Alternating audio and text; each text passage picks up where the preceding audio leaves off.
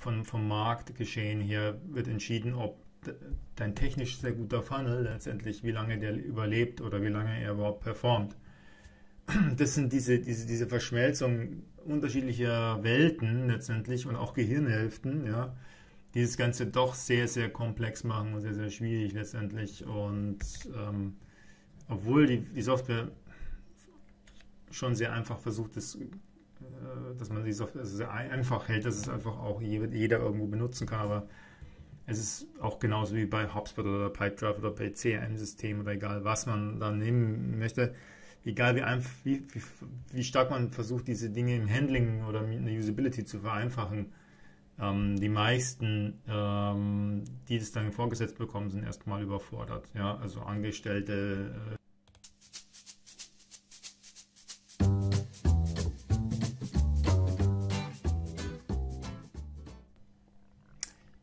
Ja, hallo meine Lieben, herzlich willkommen zu diesem Video. Ich möchte euch mal kurz daran teilhaben lassen an meiner neuen Software, die ich hier vor ein paar Tagen gekauft habe, eine neue Funnel-Software. Und da bin ich gerade dabei, heute den, den 6. Januar, also quasi diesen Feiertag in Bayern, also da ist nicht, nicht so viel los. Insgesamt, die meisten haben sowieso noch Urlaub und mir gedacht, hey, ich nutze heute mal den Tag nachdem ich schon erster, zweiter Weihnachtsfeiertag äh, für Pipedrive äh, Synchronisierungen, ähm, Custom Fields, ähm, dann ähm, Datenmigration äh, von und zu Pipedrive, Datenmigration von und zu HubSpot, also all diese Dinge ähm, schon Neujahr, übers Neujahr quasi verwendet habe und meine ganzen Weihnachtsfeiertage und so weiter, habe ich mir gedacht, hey, dann könnte ich diesen einen Feiertag heute auch noch verwenden, den drei heiligen Könige oder wie er heißt, um mir diese Funnel-Software reinzuziehen. Also es ist schon, ähm, also ich fange mal ganz, ganz von vorne an. Ich habe mich für diese Funnel-Software eigentlich schon vor längerer Zeit entschieden, habe mir aber natürlich jetzt erst gekauft, weil man dann genau ein Jahr im Voraus das bezahlt und dann natürlich ähm, ich mir das nicht kaufe, wenn ich dann äh, drei Monate lang gar keine Zeit habe, mich um, den, um, um das Ganze zu kümmern, sondern ich habe es natürlich jetzt gekauft, wo ich quasi äh, wenigstens ein paar Tage lang Zeit habe, um mich da reinzuarbeiten, ja, während, über die Feiertage. So macht man das als Selbstständiger. Ne? Ähm, als Angestellter macht man das vielleicht während der Arbeitszeit. Auf jeden Fall ähm, hier bin ich gerade, also ich habe jetzt mein erstes, so sieht es aus. Da ist so eine äh, quasi eine Masterclass. Einer der Gründe, warum ich mich für diese Software entschlossen habe, ist, weil da quasi ein wöchentlicher Call dabei ist. Also man wird nicht einfach so alleine gelassen. Also man kauft sich ein Stück Software, äh, was doch relativ komplex ist. Ich meine, sagen wir mal ganz ehrlich, egal wie, wie einfach man eine Software heutzutage machen möchte, äh, die Welt da draußen ist komplex. Ja? Also man ich würde sagen, dass vielleicht sogar, wenn wir jetzt mal Marketing, Vertrieb sagen, den kompletten Sales-Zyklus mal uns anschauen, also wirklich von, von null bis hin zu Dauerkunde, fünfjähriger jähriger Dauerkunde, dann ist Funnel, sagen wir mal Online-Marketing, Funnel, ähm, Systeme und so weiter, ist vielleicht die, die mit die schwierigste Disziplin überhaupt warum? Weil ähm, es eine relativ neue Disziplin ist, die sich aber sehr dynamisch bewegt. Das heißt, Funnel, die noch vor einem halben Jahr funktioniert haben, noch vor einem Jahr funktioniert haben, funktionieren nicht mehr, weil die einfach ausgebrannt sind. Ja?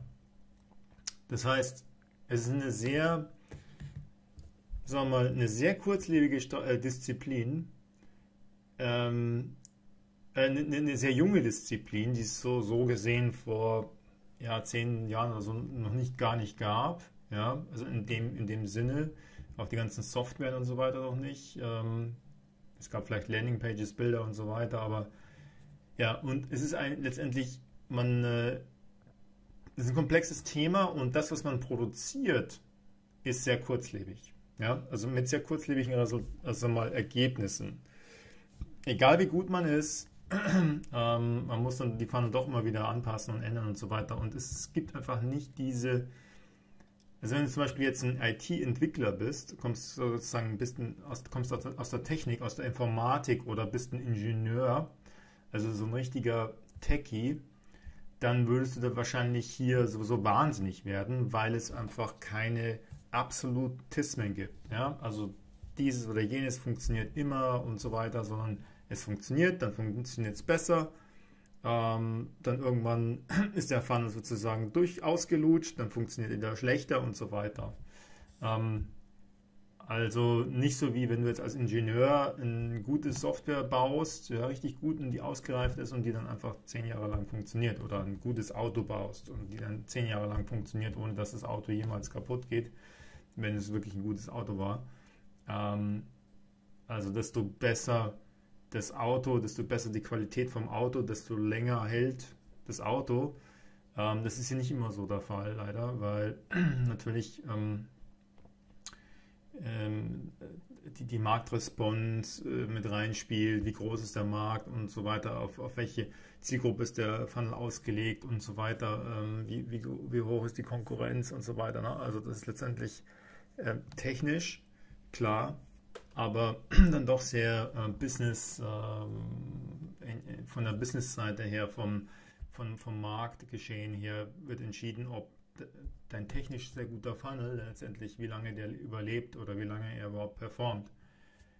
Das sind diese, diese, diese Verschmelzung unterschiedlicher Welten letztendlich und auch Gehirnhälften, ja, die das Ganze doch sehr, sehr komplex machen und sehr, sehr schwierig letztendlich. Und ähm, obwohl die, die Software schon sehr einfach versucht, das, äh, dass man die Software sehr einfach hält, dass es einfach auch jeder irgendwo benutzen kann, aber es ist auch genauso wie bei HubSpot oder Pipedrive oder bei CRM-Systemen oder egal, was man da nehmen möchte.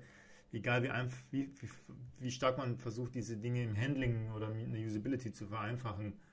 Ähm, die meisten, ähm, die das dann vorgesetzt bekommen, sind erstmal überfordert. Ja? Also Angestellte äh, in Unternehmen, Marketingmanager oder was auch immer. Ähm, die müssen ja schon erstmal reinarbeiten. In kleineren Unternehmen, die ganzen Inhaber, die haben garantiert meistens keine Zeit für das Ganze.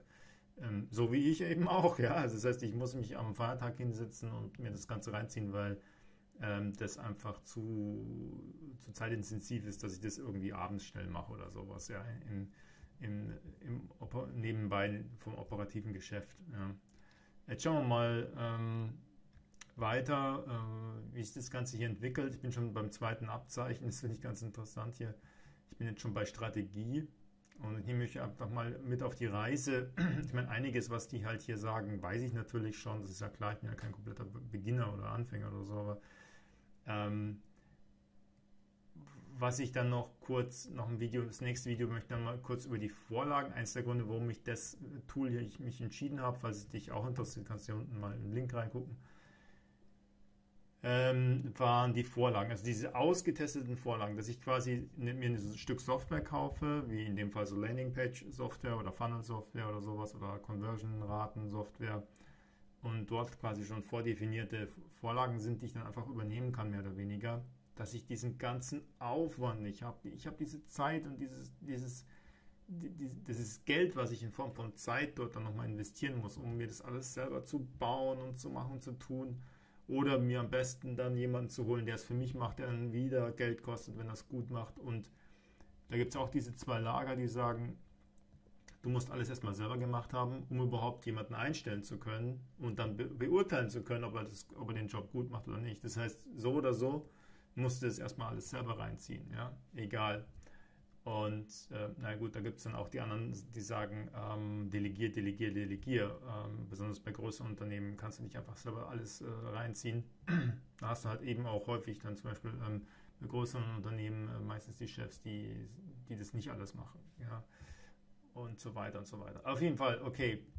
Was ich ja hier zum Beispiel ähm, noch sehr gut finde, wie gesagt, sind diese Vorlagen und da habe ich aber auch schon so einen kleinen Schocker gehabt. Und dann möchte ich jetzt hier noch, euch noch mal kurz mit rein, mitnehmen, ohne jetzt euch hier irgendwie zu viel zu verraten. Äh, weil das finden die bestimmt nicht lustig, äh, wenn ich hier zu viel verrate. Aber ähm, Warte, wo, wo war das jetzt nochmal? Hier die Vorlagen. Ah ja, genau.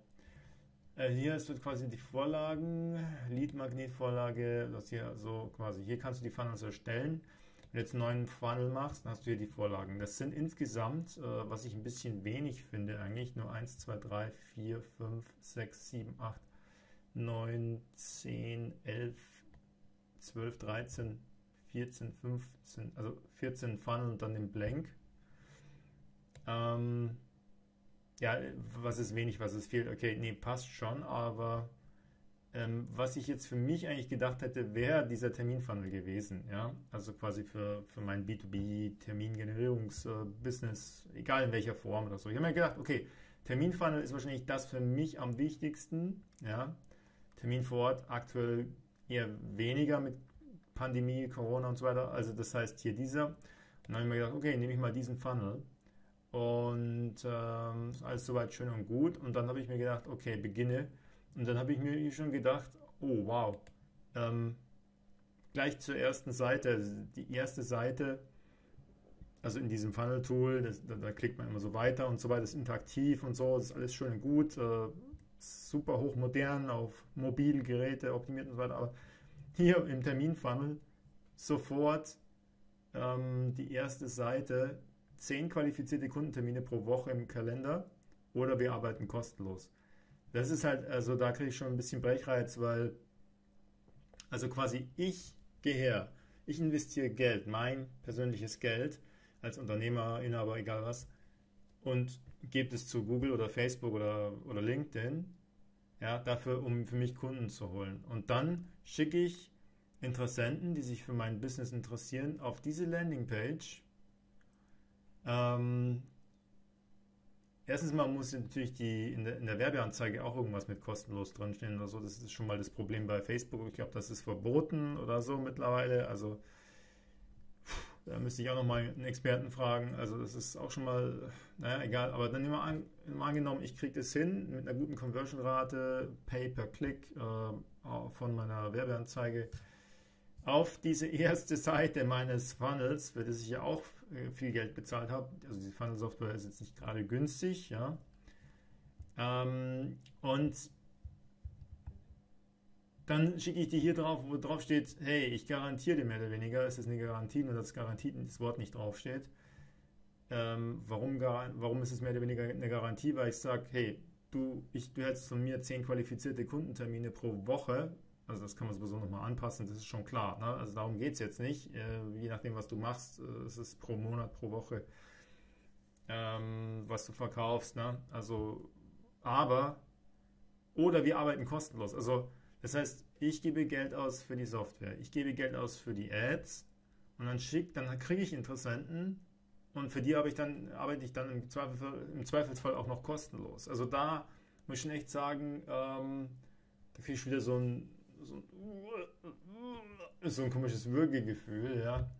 Äh, was ja auch komplett im Gegensatz dazu steht, äh, mich zu positionieren, äh, gute Preise zu verlangen und, und, und da, ja. Also quasi dieses Hochpreis-Positionierungs, was, was aktuell durch alle Welten, Wellen schlägt und schon seit längerer Zeit auch und ähm, wisse um deine Qualität und so weiter, ja also ich Worten, es ist ja letztendlich dieses Tool verkörpert ja letztendlich ein digitalisiertes ähm, Interessentengespräch. Also digitalisierte Kaltakquise ist es, okay? Nennen wir es mal so, wie es ist, ja.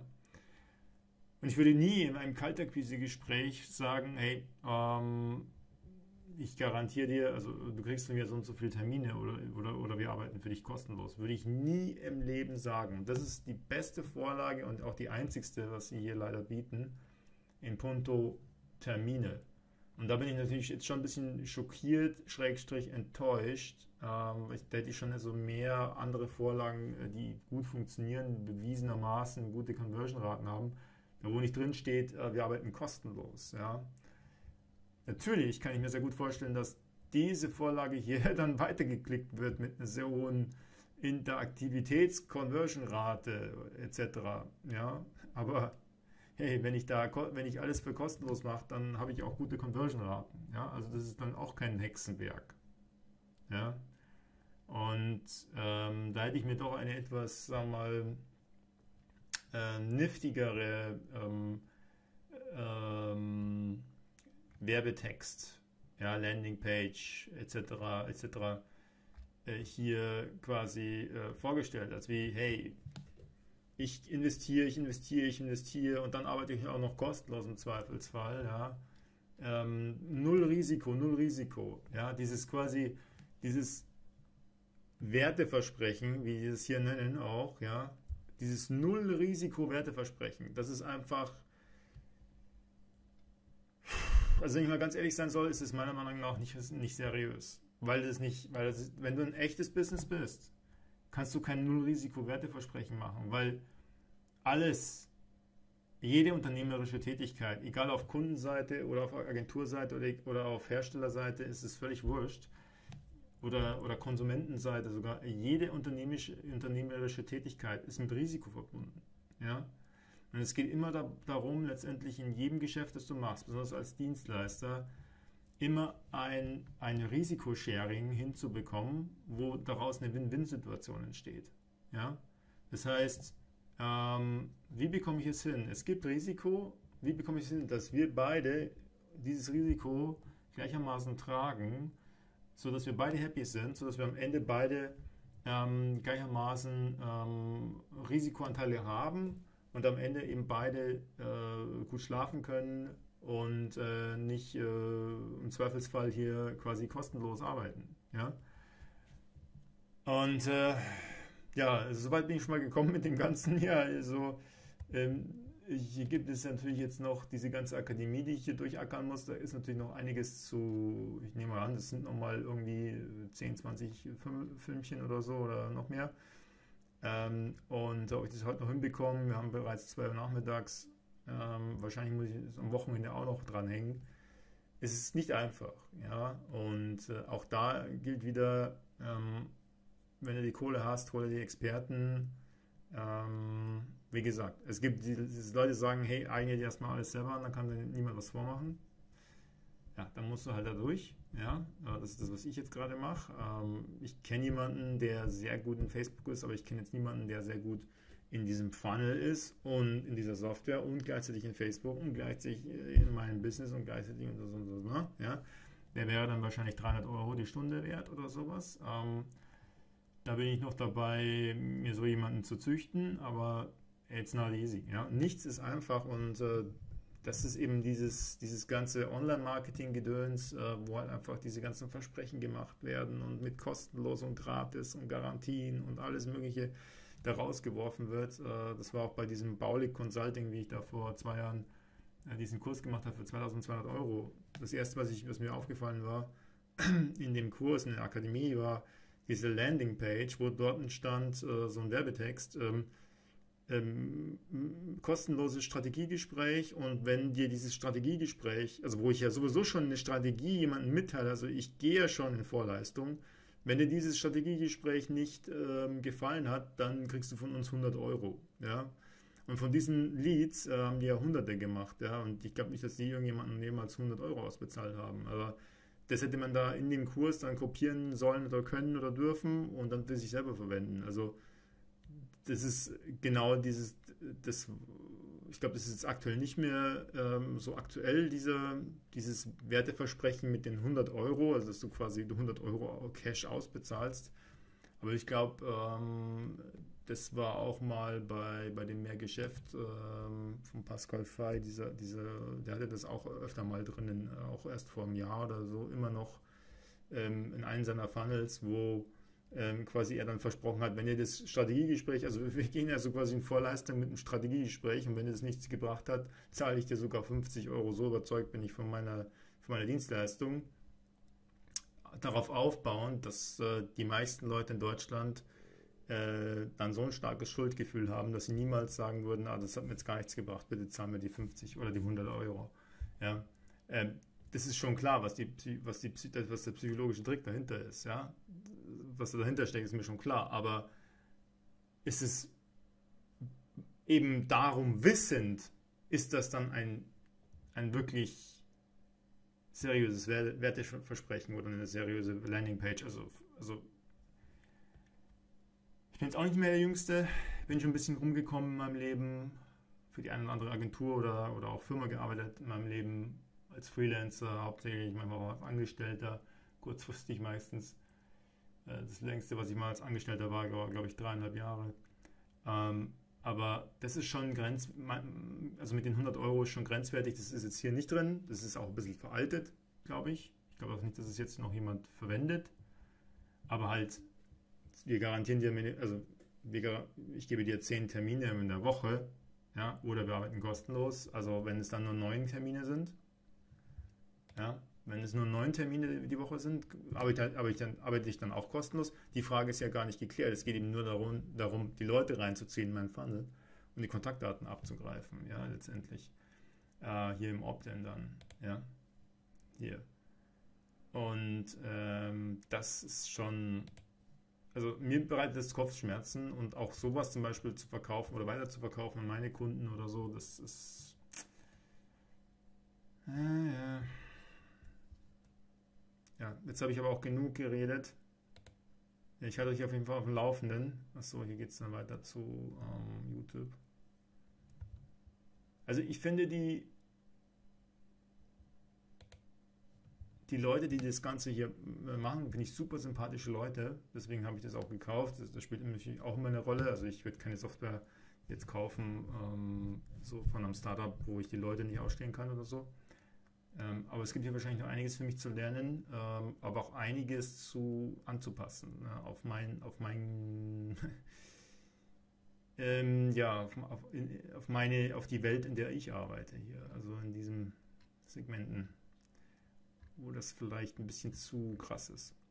Ja, schauen wir mal. Ich halte euch auf dem Laufenden. Bis dahin. Tschüssikowski, euer Thomas Klein. Ciao, ciao.